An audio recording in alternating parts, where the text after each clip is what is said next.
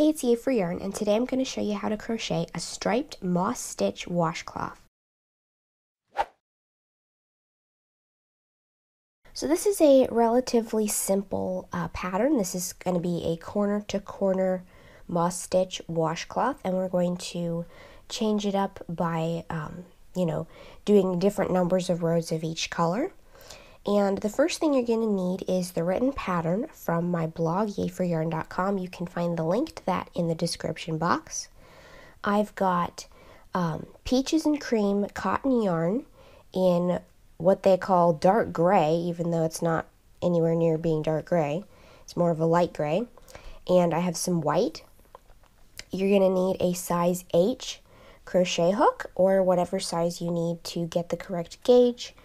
But again, this is a washcloth, so precise gauge. Um, you know, if yours is a quarter inch bigger than mine, who cares? But if you're doing a whole bunch of them, you want to be consistent so that they're all the same size.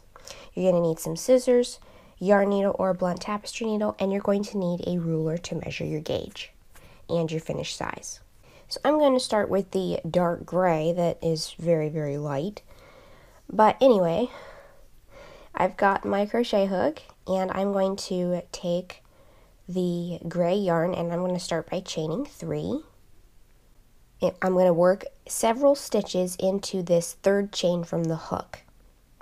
So I'm going to skip the first two and into this first chain from the hook, I'm going to work a single crochet. I'm going to chain one. I'm going to work another single crochet in that same stitch and a half double crochet all in that same stitch. So that is basically our first row. So we are establishing the corner. This is going to be kind of our right angle of our corner right here. And we're just going to pull on, I pulled that a little too hard, but pull on the yarn tail to kind of close up the little loop that is there.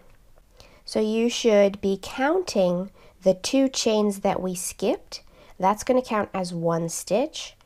Then we should have a single crochet, that counts as a second stitch. That chain one counts as our third stitch.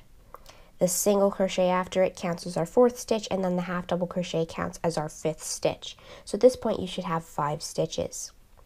So the chain two at the beginning of the row always counts as a stitch, and every chain one space in each row counts as a stitch. So we're now going to chain two and turn. We're going to work a single crochet in the same stitch, the same stitch that the chain two is coming out of, like so. Then we're going to chain one, skip one single crochet, and this is this row is kind of hard to see what's a single crochet and what is a chain, but we're going to skip this single crochet and we're going to work a single crochet into the chain one space from the row below. So we have our chain two, we single crocheted in the same stitch, we chained one, skipped one, and single crocheted into that chain space in the middle of the row. We're going to chain one, skip one again, and then we're going to work into the top of this beginning chain space, which was the chain two that we skipped on the first row. We're going to work a single crochet and a half double crochet into that space, the top of that space. So that is our second row. You should now have seven stitches. So for row three, row three is the row that we're going to be repeating over and over and over and over and over again. So what we're going to do is chain two and turn. This is very similar to the rows we've done this far. And we're going to single crochet into the same stitch, chain one, skip the next single crochet and work a single crochet into the next chain one space from the row below. Chain one skip one single crochet in the next chain space. And on on following rows you're going to have a longer row than this. So you're going to keep chaining one and skipping one single crochet into the next uh, chain one space but we have done it twice and that's all we have room for in this row because we're going to do that till we get to the last two stitches. So here's our last two stitches. So we're going to chain one, skip that single crochet, and then we're going to go into the top of that beginning chain space, and we're going to work a single crochet and a half double crochet into that space. So we're gonna, I'm gonna show you this, this row one more time and then I'm just gonna keep repeating it until it's time to change colors. So we're gonna chain two again and turn, single crochet into the same stitch, and then we're going to do this again. Chain one, skip one, single crochet into the next chain space. We're going to keep repeating that till we have two stitches left in the row. So chain one, skip that single crochet, and work a single crochet in the next chain one space. Chain one, skip one, single crochet in the next chain one space. Then we're going to chain one, skip one, and work a single crochet and a half double crochet into the top of the beginning chain space from the row below. So as you can see, this is kind of the beginning of our corner. If we were to stop right now, this side, the length of one side of our, our triangle, the one of the short sides, would be the width of our washcloth. And that is obviously way too small, but this is basically how this is going to be constructed. Here's our, our corner down here. We're going to work diagonal rows until our triangle is big enough until one of the short sides is the width that we want our entire washcloth to be. We're going to do a little edging around it, but aside from the little edging anyway. And then we're going to work some different rows to make it kind of come back down to a point, and then we can work our edging all the way around. So I'm going to keep repeating that third row until it's time to change colors. And you can vary, you know, the, the number of rows you do per stripe and, you know, what kind of stripe sequence you want to do. But I'm just going to show you the stripe sequence that I'm doing in case you want to replicate the exact same um, design. Alright, so there is my first stripe um, where I'm going to stop with my first color. I did a total, including um, starting down here, counting at the very corner, a total of 12 rows. And now I'm going to switch to my white. So what I'm going to do is I have already um, worked the half double crochet at the end of the last row, but I'm going to kind of unwork that last loop if you want to, or if you don't, you know, feel comfortable doing that, you can just undo the whole stitch and then just do part of a half double crochet by yarning over, insert into the space that you're working into, yarn over, pull up a loop, yarn over, pull through all three like a regular half double crochet, except I'm going to yarn over and pull through all three with my new color, like so. So basically what we're going to do, we're going to leave the tail hanging loose and we are going to carry the gray yarn up the side of the work by twisting it or laying it over top. See, now it's coming out down here. I want to lay it over the top of my white so that when I start to work with my white, it's going to be held up against the edge. So I'm going to chain, and then when I do my second chain, I'm going to twist it back again so that it is carried up through the second part of that chain stitch. So now I'm going to leave the gray um, hanging because I'm going to carry it up this one side. And now I'm going to continue working more rows in this white. So I'm going to work the row that goes back to this direction so you can see how we carry the gray yarn up the edge of the next row as well. Alright, so I've worked the single crochet into the top of the beginning chain space from the previous row. And as I work my half double crochet, I'm going to, again, um, before I finish pulling through the last three loops, I'm going to twist the gray yarn over top of the white. Then I'm going to use the white to pull through the last three loops. Then as I go into the next row, I'm going to twist it back for my first chain, twist it back again for the second chain, and then I can turn and keep working more rows. And this is going to help avoid um, having more tails to weave in because if we cut the yarn every time we did a stripe then we'd make a whole lot of tails to weave in and nobody likes to do that I've never heard of anybody who just loves weaving in ends So we're going to just continue to carry the gray yarn up the side of the work.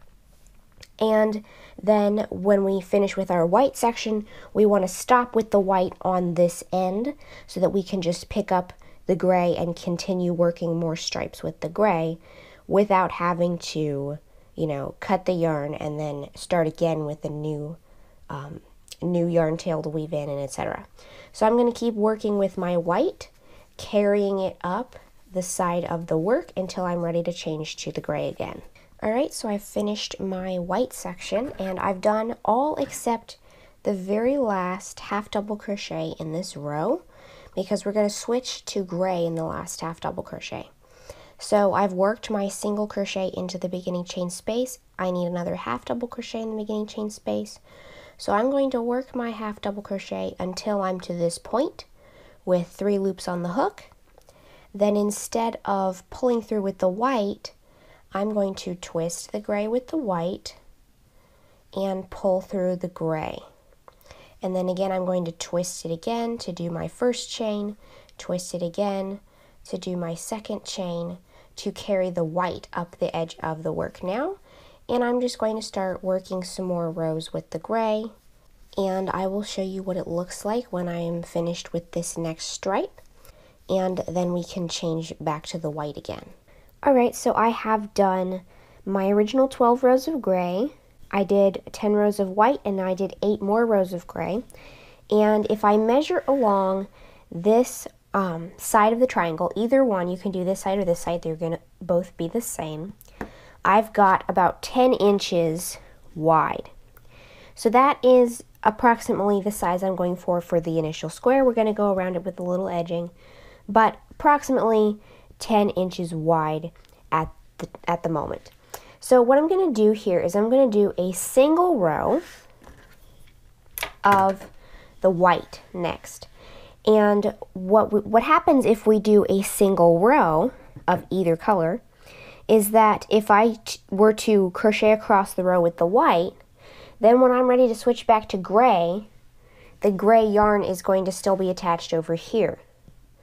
So instead of cutting the gray yarn and then reattaching it over here when we're ready to go back this way, then I'm just going to carry it and crochet over it across the row. And then on the next row following, then we're going to do a little technique to totally encase the um, yarn that's crocheted over. And this is a little technique you can use if you want to do a single stripe um, and then instantly go back to the opposite color.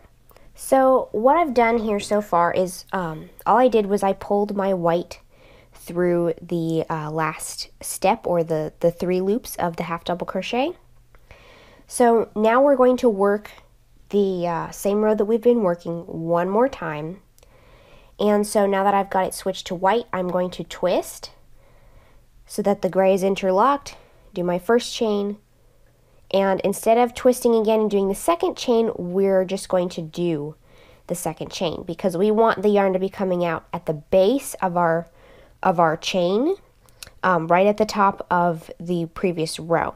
So if we were to twist it for the second chain, then the yarn would be coming out up here, and then it wouldn't um, it wouldn't be able to be worked into the uh, the row as well. So we're going to turn and work the same row as normal single crocheting in the same stitch, chain one, skip one, single crochet in the next chain, and we're just going to be crocheting over this gray strand. And you just want to make sure that as you do this, you're laying the gray strand directly over top of your stitches and not behind it or in front of it. We just kind of want it centered as we are working it across. And when we get to the other end, um, you won't really be able to see the yarn very much, but on the next row, we're going to completely hide it and make sure that it is invisible. So I'm just going to finish this row. It's the same row we've been repeating, carrying the gray yarn all the way across. Alright, so I've made it all the way across here, and I'm going to twist the yarns again and pull my last loop through with the gray, because we're going to switch to the gray now.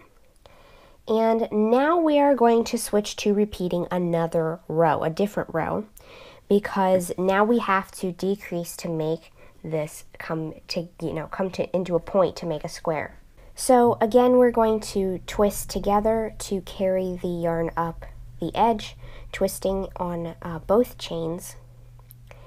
And now we are going to let the white yarn fall, hang off the side, and we're going to start working um, the decrease row, which is what makes it smaller so that it becomes a square. So I've got my chain two, I've turned. I'm going to skip the next stitch and single crochet in that first chain space. Now, the thing that we're going to do to hide the tail, the yarn, the gray yarn that we carried on the previous row, is as you can see right here, here is the single crochet below, from the row below the white one, and you can see that gray yarn that we carried on top of that. As I insert into my chain space, I'm also going to come down here and insert under the carried strand of yarn. So I'm going to single crochet into that chain space, chain one, skip one, single crochet in the next chain space, always making sure that you're inserting under that strand of carried yarn. And what that does is that encases the strand all the way through so that you can't see it. So all of the places where we skipped a stitch on the last row and there's a gap there, we are picking it up and crocheting over it as we work this next row that we're doing right now. So I'm again going to chain one, skip one, single crochet in the next chain space all the way across until we get to the last two stitches. All right, so we are getting down close to the end of the row and I'm going to work my last single crochet there. I have stopped when there are two stitches left in the row. So there's the chain space from the previous row and there's one single crochet from the previous row. And so we are going to stop when we get to that point. And then we're going to skip that single crochet. We're not chaining one and skipping one. We're just going to skip one and half double crochet into the top of the beginning chain space from the previous row. So that is going to kind of turn that edge and make it go straight across the top. So now I'm going to keep repeating that row until we have seven stitches left in a row. So this is going to keep decreasing down and decreasing down until we have seven stitches left in our row. And then there's going to be a different row that we work after that. So to keep repeating, we're going to chain two and turn. We're going to skip the next stitch and single crochet into the next chain space. We don't have to worry about picking up a carried strand of yarn because there isn't one on any of the rest of these rows. So chain one, skip one, single crochet in the next chain space all the way across until we get to the last two stitches. And we are almost there. There we go, we've got two stitches left. Now we're going to half double crochet. We're going to skip the next stitch and half double crochet into the beginning chain space from the row below. And when we do that, we want to make sure that we twist. After we pull up that loop, we want to twist the yarn and finish that half double crochet um, with that, that white yarn twisted in the yarn we just pulled through. So we're going to keep repeating that row with, um, you know, twisting the yarns together at the edge to keep carrying the unused color up the edge. And I'm going to do um, another six rows of the gray because I did eight rows down here. So I'm going to do another total of eight rows. I've already got two, but I'm going to do total of eight. Then I'm going to do um, switch to the white and do 10 rows in white. And then I'm going to show you what, I, what I'm going to do when I um, switch to the gray because when we get down to the other corner of the gray, I'm still going to do a total of 12 rows, but some of those last few rows are going to be a little bit different. So I'm just going to keep repeating this row that I just did, the decrease row, until, um, you know, with my stripe pattern, until I have seven stitches left in my row. Alright, so I am down to seven stitches in my row. As you can see, I have mirrored the stripe pattern that I had on the other side. And I have continued to carry the white along the edge up here because we're going to use it in our edging. So I don't want to have to cut it and then start a new tail when I could just carry it along the edge and save two extra tails to weave in. So what we're going to do here is we're going to work a couple um, more rows that we're going to need to make this into a little corner. So what I'm going to do is I'm going to work chain two and turn. We're going to skip the first stitch, single crochet in the next chain space, chain one, skip one, single crochet in the next chain space, skip one and half double into the beginning chain space from the row below. Now that is very, very similar um, to what we have been doing for all the rows that we've been repeating.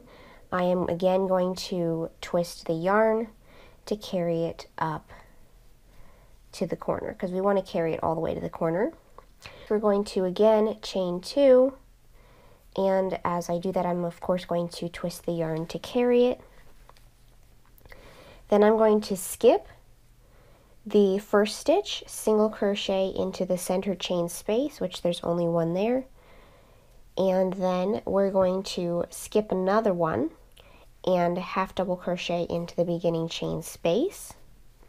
And then for our final row, we're going to chain one and turn and single crochet two together. Now to do this, we're going to insert into the single crochet, pull up a loop, and insert into the beginning chain space and pull up a loop and then we're going to pull through all the loops on our hook. So that is our last row for the, to, you know, to make it a square.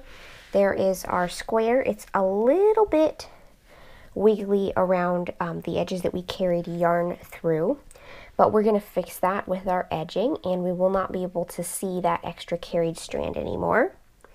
So what I'm going to do um, is I'm going to drop that white yarn, ignore it, and just let it hang there for a while. And we're going to work in edging. So to do that, we're going to chain one. We're not going to turn though. We are going to work two single crochets into this corner of the washcloth, like so. And then we're going to, again, making sure that the white tail is out of the way, single crochet evenly across the edge of our washcloth. So as you can see, I am just single crocheting evenly across, making sure that my single crochet does not stretch or shrink up the edge of the washcloth. And it is pretty well covering the um, carried yarn as long as you make sure that you are, you know, crocheting evenly across. So I just made it to the end of my gray section. I'm going to keep going till I get to this corner. So I have made it all the way across to my corner. So some of the rows have a half double crochet on the edge and some of them have a chain two instead of a half double crochet, the beginning chain space. So in each one that ended with a half double crochet, I put one single crochet. In each one that ended with a chain two, um, along the edge, I put a single crochet in each of those two chains. So you just basically want it to be even and neat and lay flat. So I've made it to the corner and what we're going to do in the corner is we're going to work three single crochets into the corner. And if you come out with a slightly different number of single crochets than me, then that's okay as long as everything is even. But I had um, 41 single crochets along this side and you just want to try to make sure that each side has as close to the exact same number of single crochets that go along the side. So I'm going to work 41 single crochet across the next side 3 single crochet in the corner, another 41 single crochet across the next side, 3 single crochet in the corner, and then another 41 single crochet along this side, and then we're going to join it down here where we started.